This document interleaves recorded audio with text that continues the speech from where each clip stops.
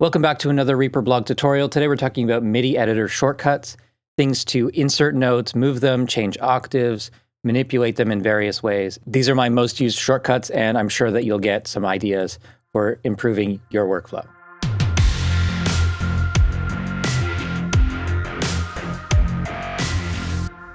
This video is sponsored by Skillshare. Skillshare is an online learning community for creators with thousands of inspiring classes on art, productivity, graphic design, filmmaking, and more. Explore new skills, deepen existing passions, and get lost in creativity.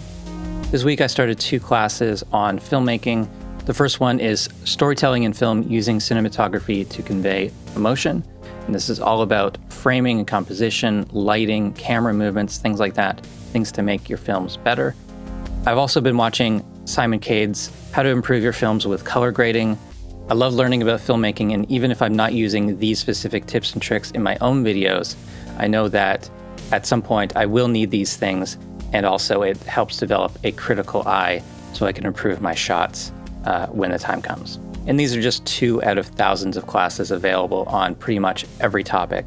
Click the link in the description for a one month free trial of Skillshare Premium you get access to every single class. And in a month, you can take dozens of classes, really level up your skills, become inspired, and create excellent work. Thank you to Skillshare for sponsoring this video, supporting the Reaper blog, and thank you guys for checking out the sponsor. It really helps, and I'm sure that you'll enjoy Skillshare.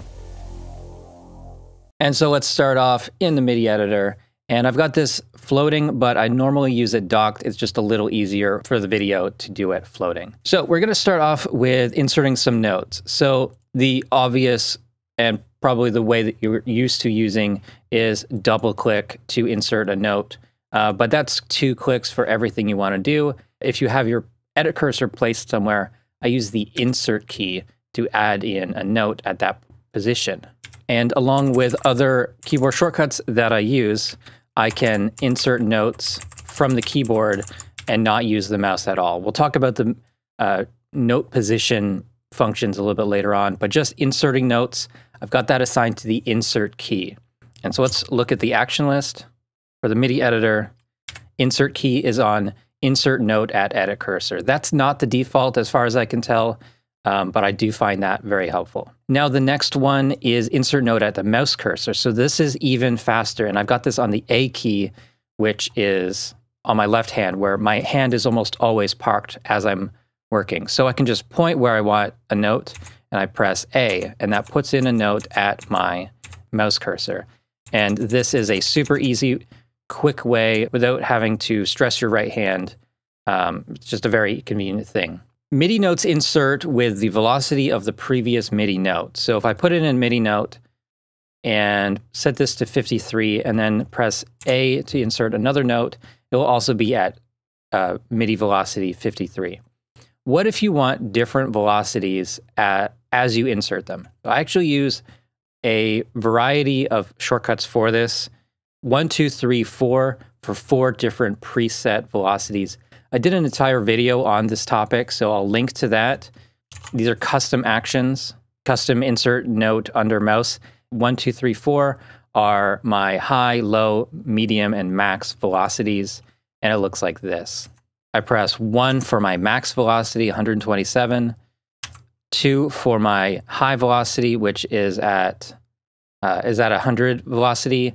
Number three is at looks like 77. And number four is looking like about 32 velocity. So I find this a very quick way to insert notes and set the velocities roughly where I need them um, without having to constantly switch between inserting a note and then dragging to change the velocity or do everything in two steps where I program all the notes in at 127 or just any random velocity and then go back and adjust every single one by dragging the velocity. So inserting notes with specific velocities, check out the video linked in the description for more on that. And by the way, every keyboard shortcut and every um, custom action that I talk about will be in the blog post along with this video, and that may be easier for you to follow along or reference at a later date. Now let's talk about moving notes by semitone. So I've got this on Command up and down or Control on PC. So Command up moves that note up by a semitone. And that works with multiple selected. I can just tap that up or down. And I forgot to mention that these actually follow the key snap function. So here's an arpeggio. And without key snap on, just chromatic, I can shift these up by semitones.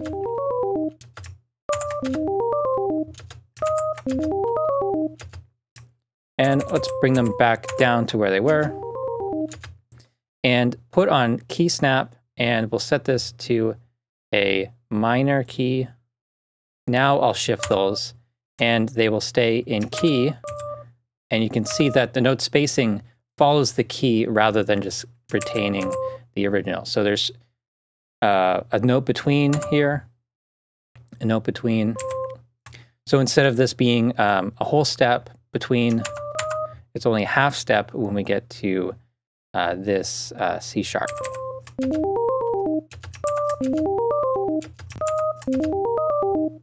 Adding in that key snap function makes this work even better when you know the key of your song.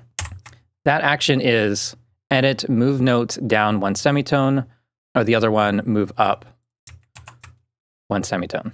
How about an octaves? So I just add in shift with that and then up or down, I can move in octaves. Same pitch, octave higher or lower. And so this is a great way to uh, build up chords really quickly, to do inversions and things like that. I find that really helpful. So now let's talk about changing the position of notes in time. So I'll select this note here. And if I do command left, that moves it left. And if I do command right, that moves it right. And this is following the grid size. So if I set my grid to one, and I move it, it's going to stay in the same position, but it's going to, going to jump ahead by one bar. So that action was command left, and I have that on move notes left by one grid unit. Next, we're going to look at moving MIDI notes by smaller increments. So that was by the grid size, now by one pixel. So I might even have to zoom in here so you can see that. But I'm going to do Command Shift left, and that will just move that ever so slightly off the grid. And so this is a great way to add subtle variation, subtle timing differences to your performance without drag and drop snapping to grid. So I could select several items, nudge them over slightly later to match some other performance that's happening. Uh, and then if I wanted to snap them, I could grab them and drag them. And it's very simple. I have another one assigned to mouse wheel. This is command option mouse wheel, and this will shift it left and right by, um, by pixels, essentially the same. And so let's look at those actions. Command shift left, move notes left one pixel, and also move notes right one pixel on command shift right.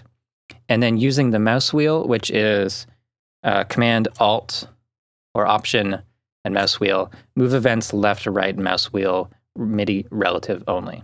That's even quicker than using the, sh the shortcuts, I find, but both are useful at times. Next, I have a custom action for moving the selected note to my edit cursor.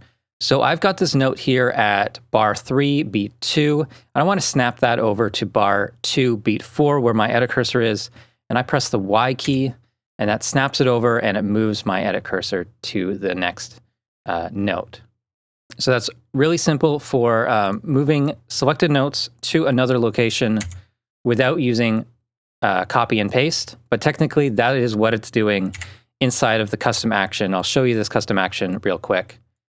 Edit cut, edit paste as one action, and that's going to be moving the selected note to the edit cursor. And there is no default function for that. There's move left edge of note to edit cursor or move right edge of note to edit cursor, but that changes the length, which is also useful, but not something I tend to use too often in my work. Going back to editing velocities, I think I showed this in Fresh Start Part 4, but this is holding the Command key and dragging the mouse wheel, and this will change the velocity. And if I have other um, envelopes in here, like let's put in the, the volume envelope, and I put in some points here. If I select a couple points and then command mouse wheel over them, that will scale those down. So that works by having a note selected, a MIDI CC selected, or the velocity selected. And that will do to all and just linearly scale them up or down using the mouse wheel. So that action here is adjust value for events, mouse wheel, MIDI controller only. I have that on command mouse wheel. Now let's come back to something I mentioned earlier, which is moving the edit cursor. So I've got this set up really simply. Up, down, left, right moves the edit cursor by the grid size. And so you can see the pitch in the green color going up and down and my edit cursor position in the flashing green um, edit cursor position is moving left and right. So those actions are navigate, move edit cursor left by grid, move edit cursor right by grid, decrease pitch cursor one semitone, and increase pitch cursor one semitone. So as I showed earlier, I could put in a note at the edit cursor very simply by using the insert key. Go up to, and I could skip a note. Go down, and this can all be done without using the mouse. Not always the fastest way, but sometimes it is very fast to work this way. Depends on what you're doing. And this goes along kind of with uh, step inputting as well. Um, being able to move the edit cursor up, down, left, right, along with step editing is very helpful. So along with moving the edit cursor by the grid size, it's helpful to also be able to edit the grid size without moving the mouse. So what I use for that is option right and option left on the actions grid multiply grid size by half and grid multiply grid size by two. So if I press option right, it's going to multiply my grid size by half. I'm at quarter notes now, so multiplying by half makes it an eighth note grid. And then any notes I move will move by that grid size. And I can also make my grid resolution less fine by going option left, and I can set that to half notes, one measure, two measures, four measures, eight measures, 16 measures. You could see that changing in the grid function in the bottom left, as well as in my toolbar where I have my most common grid sizes there. So I, so I could, of course, use my mouse and use either of those functions, or I can use the keyboard shortcut. And those things are just kind of a visual reference. And it can kind of keep my eyes focused on where I'm inserting notes, where I'm editing things. And the last section of this will be copy, cut, paste, duplicate functions. Things you'll use a lot, but there's some variations that I like to use, and some things just make it a little bit quicker than the defaults.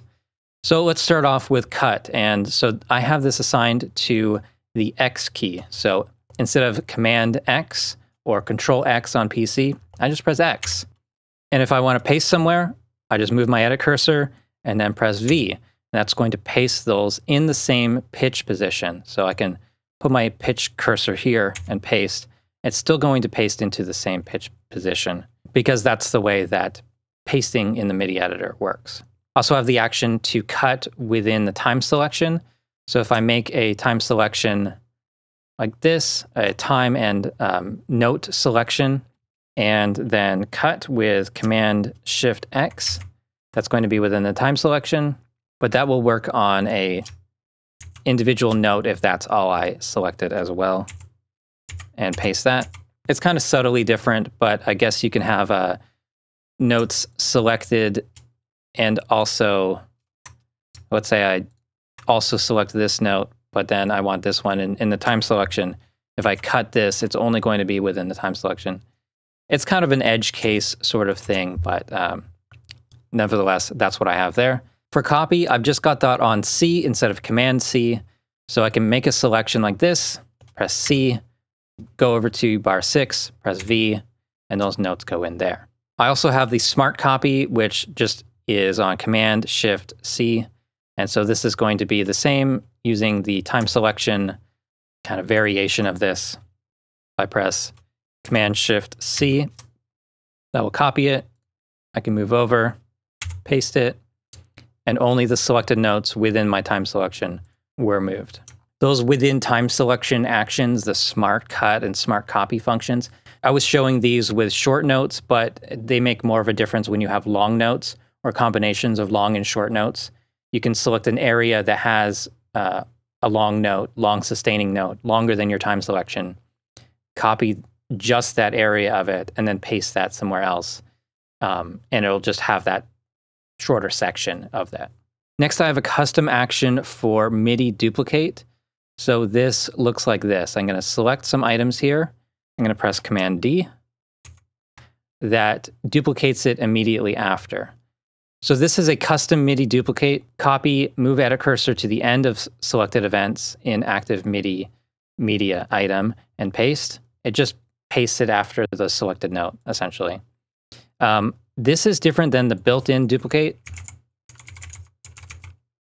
which I don't really like this one uh, duplicate events. So if I so if I have this item, this note selected here, it's at bar uh, 5.4.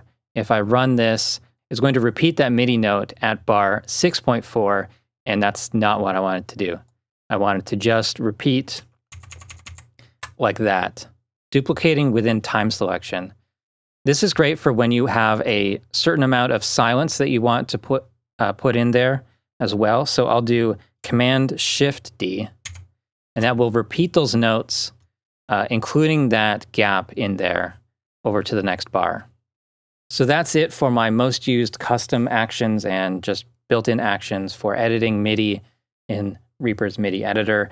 Thank you so much for watching. Hope this has been helpful. Please subscribe to the channel if you haven't already. Follow me on Facebook and Twitter. Support the Reaper blog through Patreon and visit reaperblog.net for a lot more tutorials.